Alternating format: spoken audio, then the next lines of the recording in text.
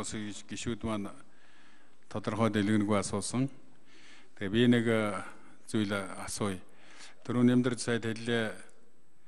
Энэ 90 оноос хойш одоо хууль зүйн тусалцаа үйлчилгээ үзүүлэх энэ үүргээсээ төр одоо яаруу түргэн татгалцсан. Манайхта ижил одоо ийм замаар замнаж байсан улс орнууд бол тэр болгон бол одоо татгалзаагүй явж ирсэн байгаа тухай хэллээ л дээ. Тэгэхээр зэрэг энэ дэлхийн ер нь улс орнуудын жишг нь одоо ямар байгаа юм. Бид нар бол нөгөө мөнгө санхүүгийн боломж нь болохгүй байсан учраас одоо ийм зохицуулт хийсэн болоо да гэж ингэж бодох юм. Тэгээд өчигдөр одоо өмгөөлийн тухай хуулийг ярилцж байхад ч гэсэн хэлцэж байхад ч гэсэн өнөөдөр одоо нотариатын тухай хууль хэлцэж байхад ч гэсэн энэ хариуцлага одоо сахилгатай холбоотой ёс зүйтэй холбоотой ийм асуудлууд яригдаад байгаа маа. Тэгээд одоо хуулийн мэрэгжил эзэмшсэн хуульч хүмсүүдэд одоо хамгийн түрүүнд ингээд яригдаад байхаар зэрэг эн чинь бол одоо нийгэмд нөгөө бидний хүсэмжлээд байгаа шударгасыг тогтоох тухай асуудал чинь жаахан хүндрэлтэй ийм байдал байна уугүй юу гэж. Тэгээ энэ одоо юунаас болж үзэж байна гэж ямар одоо арга хэмжээ авах вэ? Одоо энэ шинэ хуулийн төсөл өөрчлөгдснөөр ийм одоо эерэг нааштай ийм өөрчлөлт одоо боломж юмнууд гарах юм уу юу? Тийм одоо бид нар бол ерөнхийдөө одоо нийгмийн суртахууны байдал амарг байгаа гэдгийг бол бид нар ойлгож байгаа. Тэгтэл одоо энэ хуулийн салбарт Тэр тусмаа одоо хуульчийн сонгон шалгаруулалтанд орцсон ийм хүмсүүдийн дунд сахилга хариуцлагатай холбоотой ёс зүйтэй ёс суртахуунтай холбоотой юмнууд яригдаад байхаар зэрэгэл жаахан төвөгтэй дүү юм байдал байна уу да. За хууль тогтоох байгууллагын хувьд бол яг одоо иргэдийн сонголт орж гарч байгаа энэ хүмсүүд байна. Тэгээ хууль тогтоогч нарын хувьд одоо ёс суртахуунтай холбоотой, ёс зүйтэй холбоотой гимт хэрэг энэ одоо болохгүй юмтай холбоотой юмнууд бол яригдаад байгаа. Тэгэхээр одоо хууль тогтоогч нар хуулийн салбарт ажиллаж байгаа хүмүүсийн энэ хариуцлага сахилгаваттай холбоотой юмнууд байнга яригдаад байхаар ер нь бид нар цаашдаа ямар одоо арга хэмжээ авах юм бэ? Яаж одоо зас залруулах юм бэ? Энэ чинь бол нийгмийг одоо тэг шудраг, яс журамтай, амар амгалан, эв зохицолтой байх одоо гол манаанд гол зохицуулагчийн үүргийг гүйцэтгэж байгаа ийм л одоо хөмсүүчүүдээ бидний ихтгэл найдвар шүү дээ. Энэ талаас нэг зүйл асууя. Одоо ингээд тойргоор бол хуваарлцсан тойргууд хуваарлцсан юм байна л да. 66 тойрогт одоо 317 шүүгч юу натраад ч ажиллах хэвээр. Одоо бол 49 тойрогт 280 натраад ажилланаа. За тэгээд энд жишээлбэл 27 одоо натраачийн эрхийг нь төдүүлзүүлсэн тухай асуудал яригадаад байна л да. Тэгэхээр энэ одоо ямар учиртай ийм зүйлүүд гараад байна. За манай иргэдийн хувьд бол гадаад улс орнуудад нэлээд одоо ажиллаж амьдарч байгаа. Тэнд бол одоо хууль зүйн тусалцаа авах За тэр тусмаа одоо натраудын үйлчилгээ авах ийм зайлшгүй болов шаардлага байгаа. Тэгэхээр зэрэг энэ асуудлыг одоо яаж зохицуулахаар хуулинд оруулж тусгсан байна гэдэг нэг ийм гурван чиглэлийн асуулт байна. Баярлалаа. Онон чимэг нямдар цайд юм.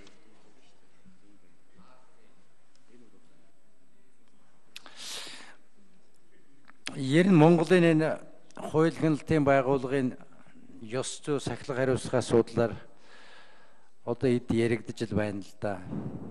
Эд яригдж бас дараа дараа нь дахиад шийдвэрүүд гарах болов гэж гордол хүлээгээл байж. Энэ хууль хяналтын байгууллага ялангуяа энэ прокурор шүүх авилгалтаа тэмцэх цагдаа тагнуул гээд энэ хүчний байгууллагууд байгууллагуудыг улс төржүүлсэн, улс төрийн томилгоо хийсэн, улс төрийн зорилгоор хугацаанаас өмнө хөөж туусан явдал болвол их урхахтай үр дагавар авчираад тэрнтэй өнөөдөр иларшуулах гээл явж шít систем авд.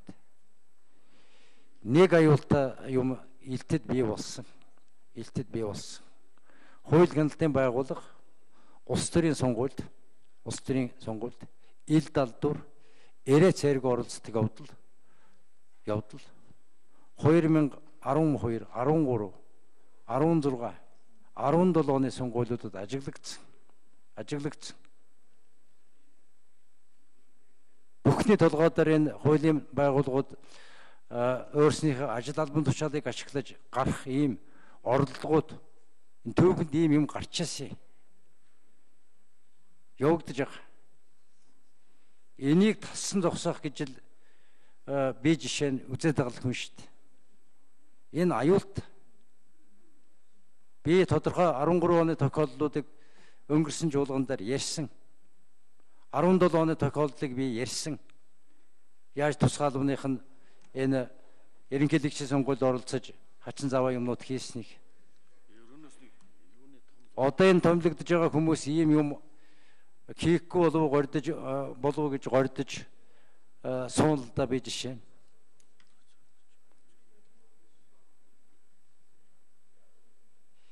Энэ дээр бол Бат Эрдэнэ гишүүний энэ гишүүдийн санаа зовоод нийгмийн санаа зовоод байгаа явдалтай би санал нэг байгаа. Мэдээж хэрэг надтай хамт ажиллаж ясан хүмүүс энэ саяын арга хэмжээнүүдэд өртөж байгаа. Өртөж байгаа, гомдож л байгаа. Өөрснөө асуудал үүсгэж үүсгэсэн чинь өртгөөс өөр яах юм? Яах?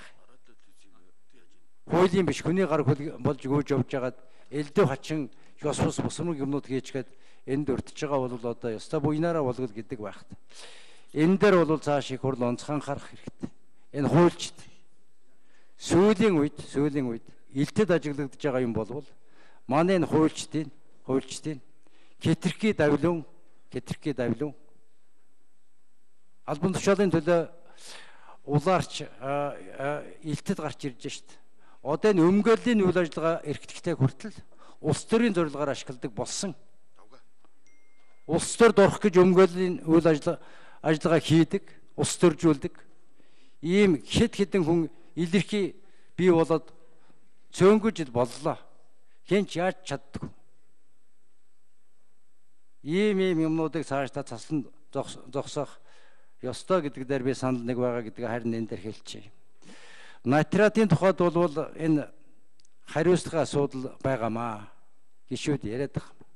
Буруу үйлдэл хийдэг. Буруу юм гэрчилдэг. Танил тал талд автдаг. Ингээд хүнийг хохироодог тухай асуудал байгаа. Гарчих гээд зовлонтой байгаа.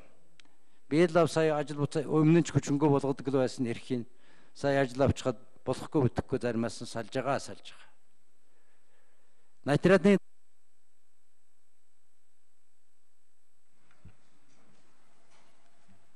За Ганбаатар гişүүн.